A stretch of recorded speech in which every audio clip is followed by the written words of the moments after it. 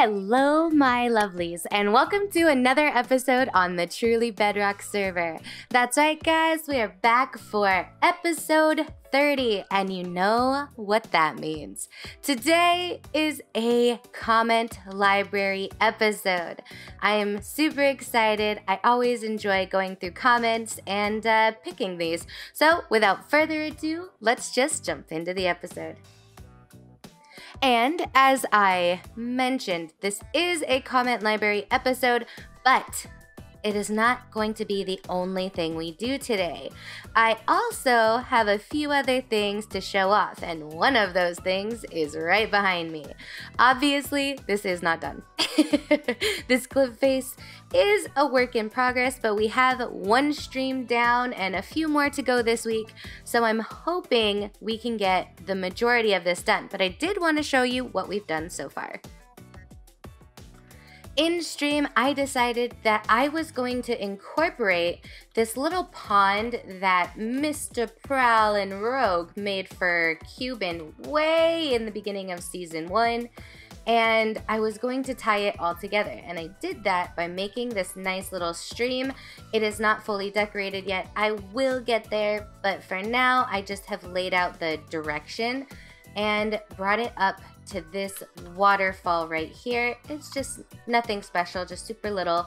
It just kind of ties it together in this nice little scenic area. I think that it gives us something to look at at the base of the mountain because obviously this is big and obtrusive and huge. So I just think that that's going to be a nice accent. Right here, I plan on doing a custom tree to divert your eye line. So I'm not gonna make one of these spruce trees that I tend to make at my base. I'm going to do probably more of a willow or, or something, just more, uh, probably with birch leaves. Not sure yet. Haven't really decided, but that's what's gonna go there so that we can divert the eye line and not make it look like it's just this big, huge wall. But this is this is what we have so far, and I really am liking how it's taking shape. I mean, obviously, there's more details I have to put in, but for now, I think this is a really great start and a good indication for what's to come. I think it ties together very well. The overhanging leaves make it look like it's a little bit unkempt, and I think that ties in with his gothic style pretty well. And no matter which direction I look, I'm really, I'm really, really happy with it. I don't think that there are too many square lines, even though there are a lot of lines. It just is exactly how I was picturing it, so I am I am very very pleased. But let's not dwell on this little project right now. Let's head into the nether and head over to uh, get these comments in. Alright, so here we are in the nether, and I have, of course, added my pages already off camera just so that you didn't have to see me typing. But let's just jump into this. So, for episode 20, which was the last comment library, Free Spider 14 said, I love how you show your care for your fans enough to include us in an episode. Thanks from all of your fans. And I picked this comment because I think it's really important. I think it's important to let the people who watch you and follow you and and take time out of their day to include you to show them some love. And that's why I have the patron slash supporter area. And that's why I have the comment library is so that you guys know that I do pay attention. I do really appreciate all of you and I am here really to to talk and, and get to know you guys. And yeah, I don't know. I just I really enjoy the comment library, and I think Zloy did an amazing job with it. For episode 21, it was our Prankmas episode. So we spent this episode over at Tizztom's base. We gave him the toilet paper, and I chose a comment from Miss Brittany, mostly because the toilet paper roll pixel art was her idea, so I wanted to include her in this episode's comments and her comment was i giggled too hard at this you may have to rest your voice so you can now so you can give my eulogy now So I thought that was funny because, you know, I, I really enjoyed that prank. I have never really done pixel art, so it was uh, an experience to say the least, but I had a lot of fun and I'm glad that you guys seem to like it. In episode 22, it was my adventure with Miss Lyarrah, and it was the bee update. So we went out on an adventure, found ourselves some beehives, and let's just say it was a giggly mess of a fun time. And so for episode 22, I picked a comment from Lyarrah herself, and she wrote, This was such an adorably fun time to come do with you. I'm so glad we got to go. And I agree. It, I could not have picked a better person to explore the cuteness of the new update with than Lee. So thank you, Lee, for inviting me. It really was a blast. And for episode 23, we kept the bee adventure going and we met up with Prowl to discuss the bee aviary or aviary? I don't know. The bee area that he wanted for his farm. So we got together, the three of us discussed kind of what we had in mind, and yeah, so it was a pretty good episode. I had a lot of fun. And the comment is from Randy, who said, Is the bee in Jessie Bee short for Bee Queen? And I picked this episode because he was actually the first person since the update to like make a pun of Jessie B. And I just had to include it because I thought it was really funny and I approve. And in episode 24, we got our Prankmas gift from Mr. BJW, who gave us a pineapple pizza. And if you guys do not know my stance on pineapple pizza, it is no. that's just that's my stance. Just no. Just just no. And so I picked a comment from Mad Sloth because I knew it was coming. In the episode, I said, any fruit does not belong on pizza. So no fruit on pizza. And of course, Mad Sloth wrote, Team, any fruit on any fruit does not belong on pizza, but tomatoes are fruits. And I knew this was coming, but the thing here is I can't have tomatoes. So I don't put tomatoes on my pizza. So my stance is still no fruit belongs on pizza. And in episode 25, we began work on Prowl's blacksmith area. And I had a lot of fun in this episode, and you guys really seemed to like it, so I was happy with it. And the comment I picked was from Wraith Gaming, who said Wish I could design and build like you do. I always ask others to help with my designs. And I picked this comment because that's a comment I get a lot. I get a lot of people saying, Oh, I wish I could build like that. And I'm just picking this comment to say, You can. It just takes a lot of time and effort. I, I guess it's one of those things where I used to watch so many Minecraft videos. I would watch Grian, I would watch uh, Good Times with Scar. I would watch Python. I would just watch so many people who built or or did um, terraforming because it was something I was interested in and I sucked at it. so I was awful. I did all of those, you know, just plain oak builds where like they had like the same pointy roof and it looked like a box. And after, I don't know, a year or two of just really tweaking everything that I did and finding a style that I was comfortable with, it started taking shape. So I just wanted to say anyone can be a builder. Anyone. It does not matter if you think you suck, if you think you're amazing, just everyone can do it. You just have to put in the time, and I love to see what everyone creates, honestly. And in episode 26, we had the so much fail episode. Just everything that could go wrong with that recording did. I had software failure, I had time lapses get deleted. It just was a big old mess, and I was not happy with how anything was going that day.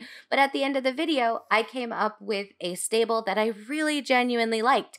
So I kept that episode up even though I was not completely happy with it because I wanted to show that you don't always get everything right. Like everything can go wrong, and you can still, if you keep going, come up with something that you're satisfied with. And Uh, for that episode, I picked a comment from Granny T Fierce who said, He he told you so lovely. Stable, lovely, stable barn and house, or barn house hybrid thing. And I picked this comment from Granny T Fierce because she's amazing. She is somebody who has been on my channel since I pretty much started. She's been around, and even though she doesn't comment all the time, she has always been so supportive and so loving. And the He He Told You So, I believe that's the episode where I hit a thousand subs. And I was blown away. And she's one of the people who knows I never thought that I would get to a thousand. It just, it wasn't a thought in my head. And just having somebody be there to say, you know what, I knew you could do it. And it meant a lot to me. So thank you, Granny. And thank you to everybody who subscribed because you honestly blow me away every day. And in episode 27, we finally did the storage area for the bee, um, the bee farms that we're doing with Prowl.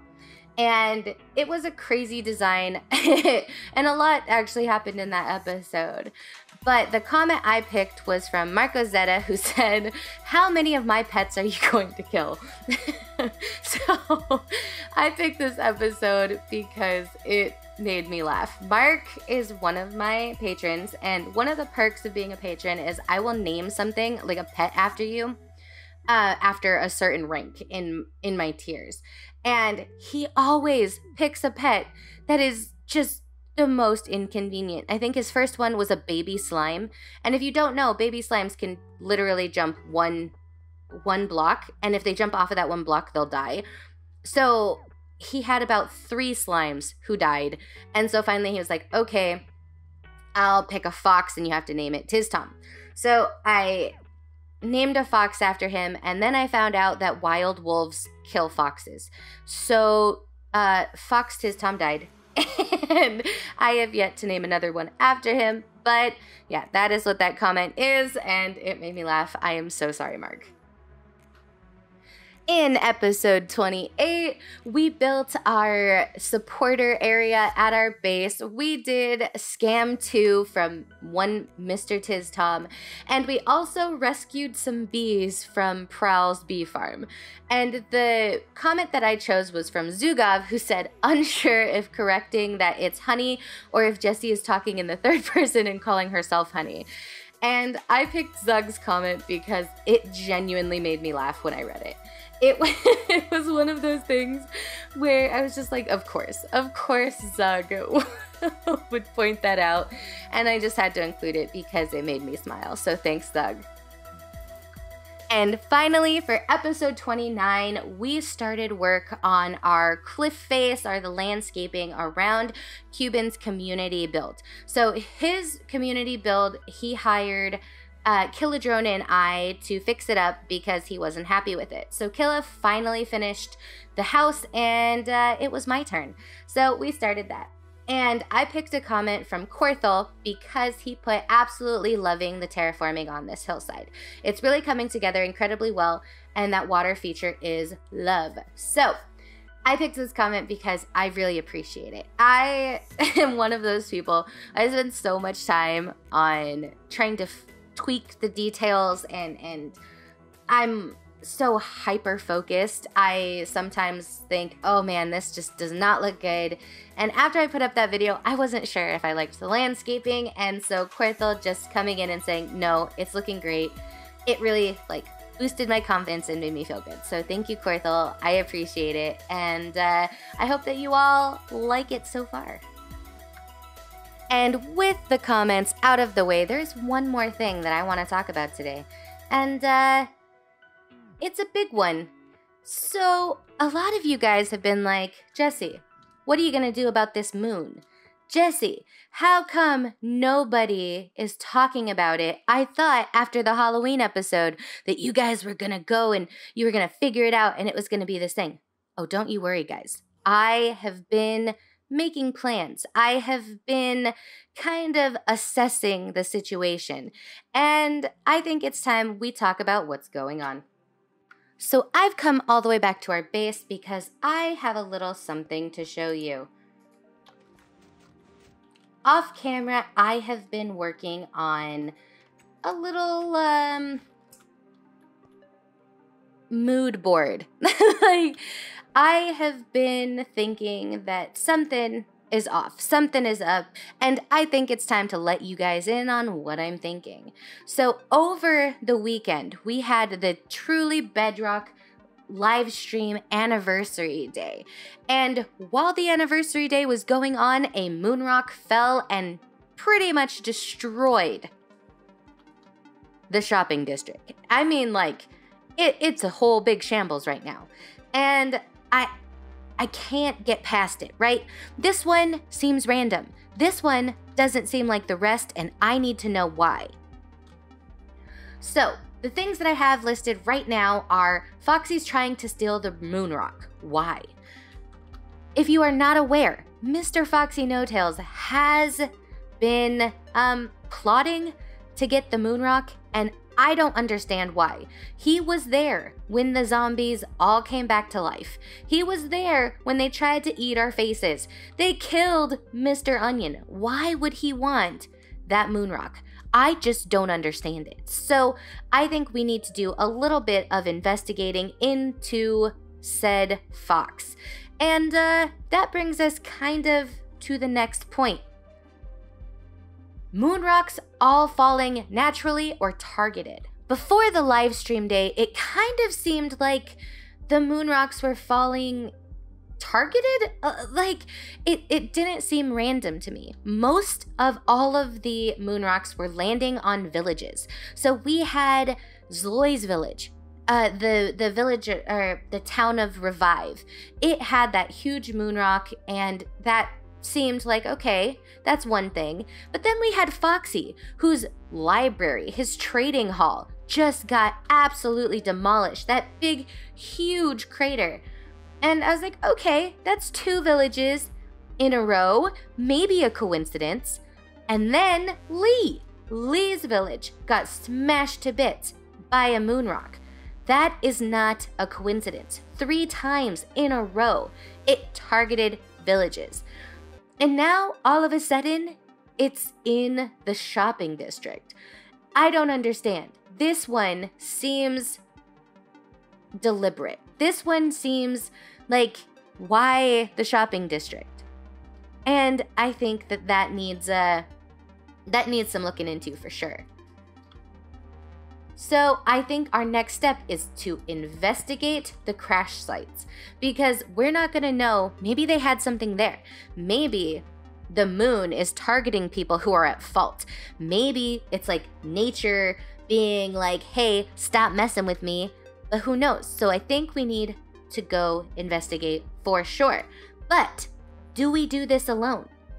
Is this something that we put on our investigator pants and our big girl shoes and go out there and try to do it on our own?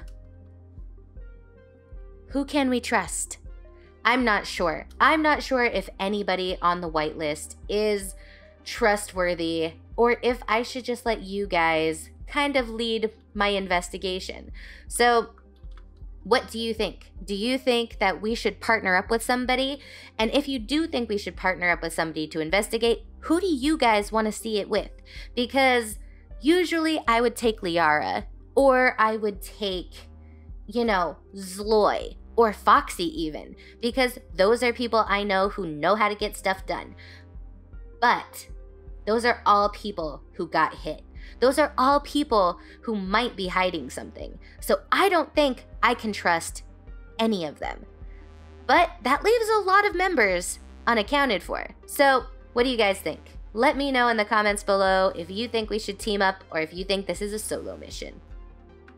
But you guys, that's actually all I have time for today. So thank you so much for stopping by. Honestly, I appreciate you guys more than I can say.